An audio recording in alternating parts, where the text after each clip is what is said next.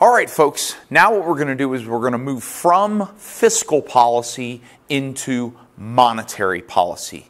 Now, like we've said before, there are two branches to economic policy in the United States and in most developed countries. Um, so, monetary policy is the other half, and monetary policy is primarily concerned with the money supply. Now, several lessons ago, we learned about the fact that there is money in the economy. And we talked about the functions of money.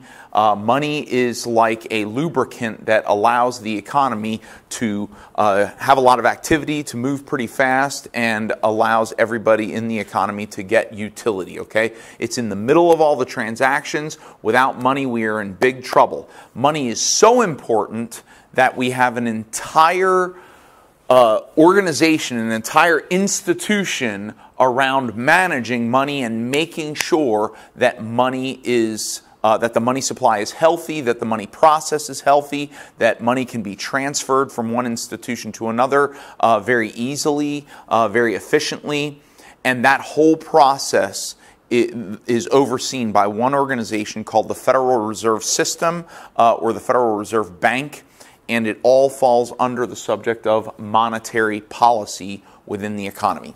So we're going to get a definition here for monetary policy. Monetary policy is the branch of economic policy which manipulates the money supply in a society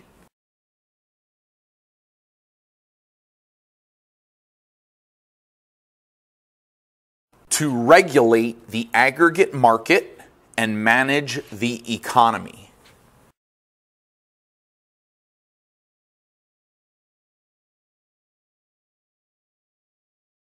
Okay, so we got a few things going on in here. We know um, that there's a lot of dynamic in the aggregate market. Now, some economic theories say that you should just leave the aggregate market alone, it'll manage itself. But nowadays, we live in an economic uh, society where we believe it's important to get involved in the aggregate market, and so we're trying to regulate the aggregate market when it's doing something that's sort of either too far high or too far low from where we want to be in terms of production. Uh, and so that's how we manage the entire economy and monetary policy focuses on the only thing that they do in monetary policy for the most part is they manipulate the money supply. They increase the money supply, they decrease the money supply.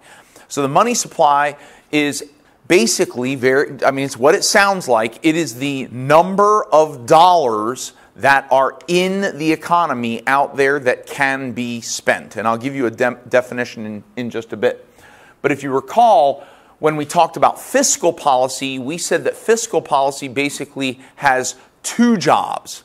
They can increase taxes or decrease taxes, or they can increase government spending or decrease government spending. Fiscal policy is all concerned with government spending and taxation, and that is those are the only two levers that they pull. Well, in monetary policy, they really only have one thing they're manipulating, and that is the money supply, the amount of money that is available to be spent. So, just to give you an idea, if there was no money in the economy, if they manipulated, if, if, if uh, the powers that be under monetary policy, if they manipulated the money supply so that they reduced the amount of money to zero, so there's no more money in the economy, well, then no one can get paid.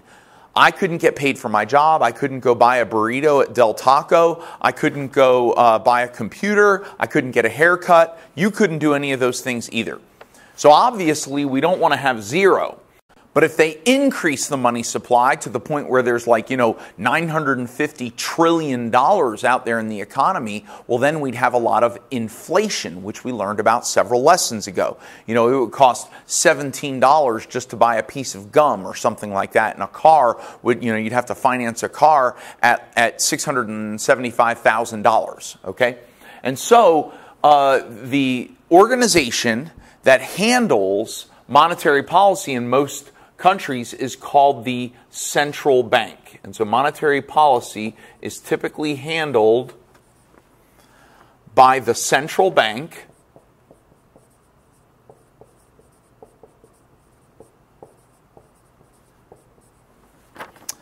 And in the United States,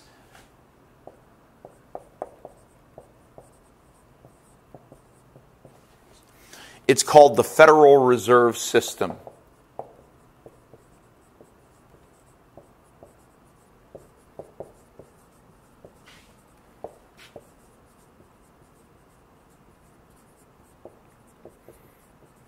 And the actual institution is called the Federal Reserve Bank, or there are Federal, Federal Reserve banks around the country.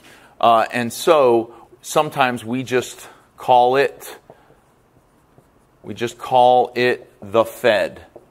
So you're going to hear me say the Fed. Whenever I say the Fed, I'm talking about the Federal Reserve System, the organization, the institution in the United States that is our central bank and is responsible for managing the money supply.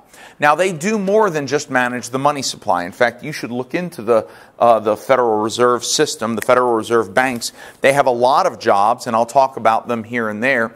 But for example, one of the jobs that they have is they, uh, they regulate other banks. Okay, so you got like Bank of America, you have Truist, uh, which used to be SunTrust and BB&T. Uh, you have Wells Fargo. You have all these banks that um, you know you go to the bank and you deposit your money and you can get a loan through the bank. You know you have your ATM. Uh, it has a, the name of a bank on it. All of these banks they are managed, overseen, and regulated by the Fed. The Fed tells them whether they can even be a bank. If you had a whole bunch of money and you wanted to go open up a bank, you wanted to start a business, you wanted to be a bank, wherever it is that you are, you would have to get authority from the Fed to be a bank. One of the things that the Fed does is the Fed will oversee mergers of bank.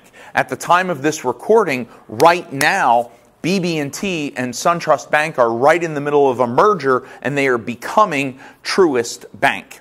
And they can't do that unless the Fed says it's okay. They have to put their stamp of approval on the merger of two banks because they regulate all banks. They also have rules for banks. The Fed tells banks what they can do and what they can't do. And if the Fed tells them you have to do this, that bank has to do it. And if they don't do it, they get in trouble with the Fed. The Fed has a lot of power in the U.S. economy, and all of the banks fall under the oversight of the Federal Reserve System. So, we're going to talk a lot about the Federal Reserve, and it makes sense that banks fall under the Fed because the Fed is responsible for the money supply in the economy. And where do we bring our money when we want to put it in savings? We bring it to a bank. It's financial intermediation. When we learned about money, it was all about financial intermediation. And since banks are in the middle of these exchanges between savers and borrowers, who's going to oversee the banks to make sure that they're doing right for the people of the economy? Well, that's the Fed. It's the central bank of the country, it's the central bank of the economy. And in the United States, the Fed is the central bank, which is called the Federal Reserve System. Okay? All right. So, uh, first thing I want to say, uh, or the last thing I want to say in this particular segment, is I want to define the money supply and I want to tell you about the different forms of money that are in the money supply. All right. So, the money supply.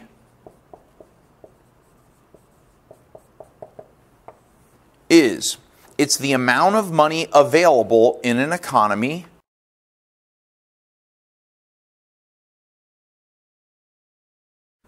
for use by households, businesses, and governments.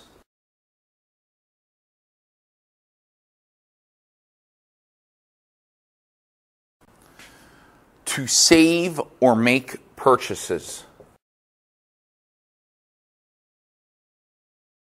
And There are two basic forms of money that we are going to talk about. Forms of money. Now, before I give you these forms of money, I want you to understand there are the, one of the things that the central bank does, one of the things that the Fed does is they measure how much money is in the money supply. Uh, and they do this on a regular basis. You can actually look up on the internet, you can find out what, uh, what, how much is in the money supply this month. Um, but the thing is, they have different ways of measuring it, different ways. And they've named the different ways. The three main ways that they have, or names or types of measures of money supply uh, are called M1, M2, and M3. I know, really creative, right? And uh, basically, uh, M3 includes M2 and M1. M2 includes M1 and then, so M2 includes M1 plus some other stuff. M3 includes everything in M2, which includes M1, and then some other stuff, okay? But uh, they, the Federal Reserve, they stopped measuring M3 uh, in 2006 because it was so expensive just to measure M3. They were spending money to measure M3, but it wasn't providing them any additional information about the money supply than they already got from M2. And so the only things that they measure anymore right now are M1 and M2, and they report them on the internet. And you can look those up. But basically, what's included in M1 and M2 and M3, I'm going to give you two basic forms of money. There's physical money, okay, which we call currency. Currency Okay, that is physical money. All right, so if you have a dime or a quarter or a nickel, right, that is currency. Okay, I've got here, I've got a $10 bill right here. Okay, this $10 bill, this is physical money. I can take this physically over to a store, buy something that costs uh, $10 or less. They can make change if it's less than $10, right? And I hand them this physical piece of money and then they will give me the stuff. They'll take this as payment. And physical money is called currency, okay? The other kind of money is basically you know digital money that's deposited in your bank account, okay? And we call them deposits in banks. So deposits in banks are the second form of money and I call those electronic or digital money. Okay, and I'll give you an example of that.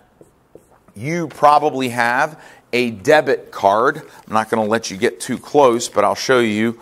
Uh, you know, here's my here's my debit card, and so when I go make purchases, um, I uh, you know I put this in the machine. When I want to buy something, I don't give them any physical money and then they, uh, you know, automatically, electronically move money out of my bank account and into the store's bank account, right?